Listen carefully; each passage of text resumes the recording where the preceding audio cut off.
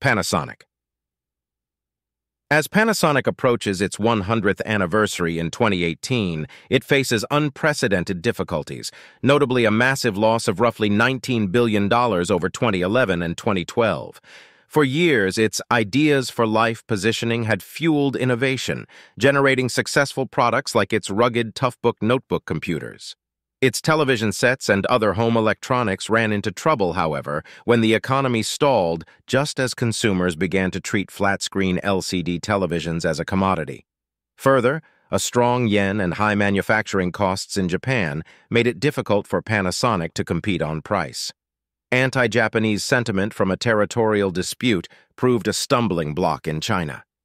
Finally, the acquisition of Sanyo in 2009, designed to help the company sell more green energy products, was disappointing.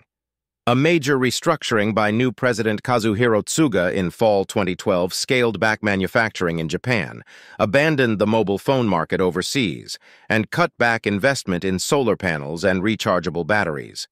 Tsuga emphasized that Panasonic will streamline business units and emphasize profit, not just revenue growth.